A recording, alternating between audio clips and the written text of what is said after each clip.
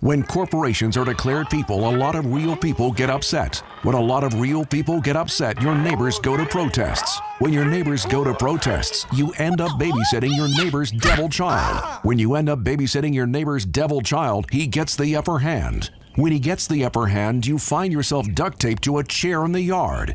Don't end up duct taped to a chair in the yard. Get rid of corporate rule. Amend the Constitution. Sign the petition at movetoamend.org.